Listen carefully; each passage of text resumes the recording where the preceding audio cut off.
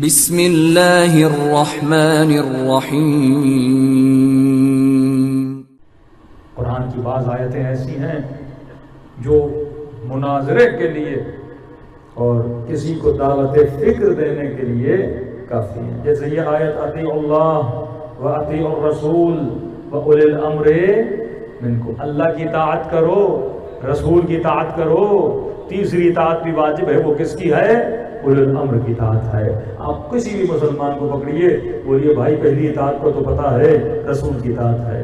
दूसरी इतात का तो पहली इतात अल्लाह की, दूसरी इतात रसूल की। अब अल्लाह कह रहा है, तीसरी इतात भी तेरे ऊपर वाजिब है। यानी जैसे अल्लाह की इतात वैसे रसूल की इतात वैसे तेरे ऊपर तीसरे की इतात है। अब बताइए, तीसरी इतात किसकी इतात है? अब तफसीर तो वो भी करते हैं, लेकिन अपनी तफसीर में खुद फंस जाते हैं। सिर्फ़ मकतब अहलबैत का मानने वाला है, जो तफसीर से फंसता नहीं है। हमने कहा तीसरी ताकत अली इब्न तालिब की ताकत है।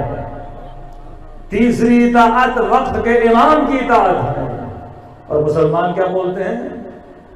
अम्र से मुराद तीसरी ताकत वक्त के हाकिम की ताकत है। ये सबने लिखा अपनी किताबों में। तीसरी इतात वक्त का हाकिम है मतलब इस वक्त पूरे पाकिस्तान पर शहबाज शरीफ की इतात वाजिब है। तो फिर तो सारे मौलवियों को दाढ़ियाँ मुंडवानी चाहिए, क्योंकि तेरे उल अमर की कोई दाढ़ी नहीं है। हाँ। ये बदबख्ती में इंसान पड़ जाता है ना, जब दामन अहलबैत को छोड़ता है। बाकायदा लेटर निकला सऊदी अरब में, जब दीनदार लोगों ने एतराज़ किया, ये क्या हो रहा है सऊदी अरब में? ये क्या हो रहा है उस ज़मीन पे, जिस ज़मीन पे दीन आया, इस्लाम आया, नबी का रोजा, काबा जो मुसलमानों का किबला है। नाच गाना कॉन्सर्ट्स डांस क्या हो रहा है? सिनेमा खोले जा रहे हैं, जुआ खाने खोले जा रहे हैं। किस तरफ़ ले जा रहे हो मुसलमानों को? तो वहाँ के मौलवी परेशान हो गए क्या बोले? उन्होंने कहा कि ऐसा ना हो, अवाम हाकिमों के खिलाफ खड़ी ना हो जाए। अवाम लड़ने न लगे। यानी सदियों तक मुसलमानों के मुँह को बंद कर दिया गया इस आयत के ज़रिए। तफसीर फिर रह करके लोगों के दीन, ईमान को तबाह बर्बाद कर दिया यानी रसूल के बाद जो भी तख्त पे बैठा, वो कहता था, मैं उल अमर हूँ। मेरी इतात तेरे ऊपर वाजिब है और मुझसे लड़ोगे तो तुम्हारा किताल मेरे ऊपर जायज़ है।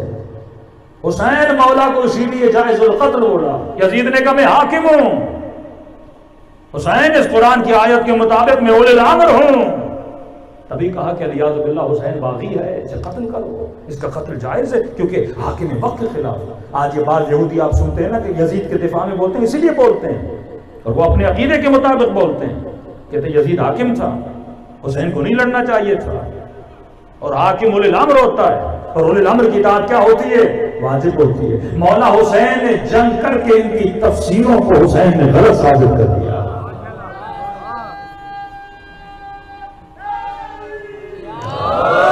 बताएँ आज के मुफसर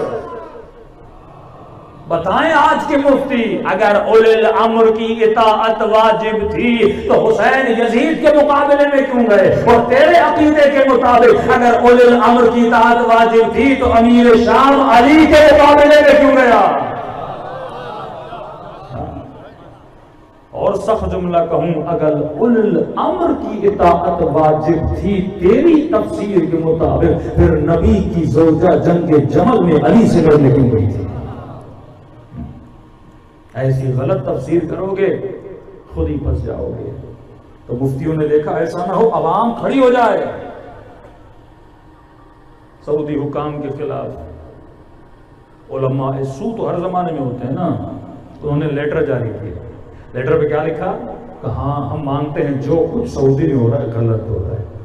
जुआ नहीं होनी चाहिए, मुजरे नहीं होने चाहिए, डांस नहीं होना चाहिए जुआ खाने नहीं होने चाहिए, सिनेमा नहीं होना चाहिए। ये जो कुछ हो रहा है, हम भी मानते हैं गलत हो रहा है, और हम सब उलमा तुम्हारे साथ हैं। लेकिन ये बात याद रखना, वक्त का हाकिम अमर है। गलत है, पर उसके खिलाफ आवाज़ हम नहीं उठा सकते, क्योंकि वो अमर है। और इसी तफसीर के मुताबिक जनरल मुशर्रफ ने जब लाल मस्जिद पे हमला किया, उसने बोला उस मस्जिद के मौलवी को, अरे तूने खुद अपनी किताब में लिखा, वक्त का हाकिम उलिल अम्र होता है, मुझे उलिल अम्र बोल भी रहा है और मुझसे जंग लड़ भी रहा है। कमे उलिल अम्र हूँ, मार दो सबको।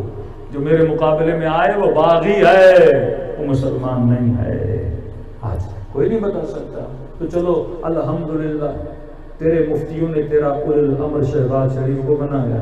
हमारे उल हमारे उलमा ने उल अमर अली को बनाया।